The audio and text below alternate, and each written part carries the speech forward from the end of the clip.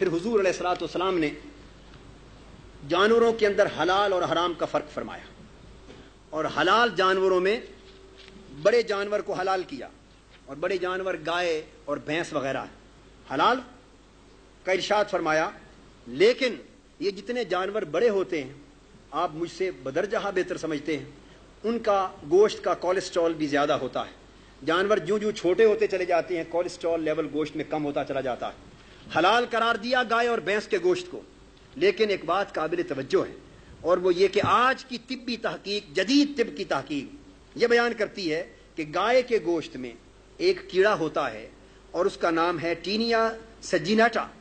वो कीड़ा जो टीनिया सेजिनेटा के नाम से मारूफ है, उससे पेट की कई अमराज जन्म लेती हैं। लेकिन हैं वो काबिल इलाज। अब ये मरज आज तहकीक की रोशनी में सामने आई।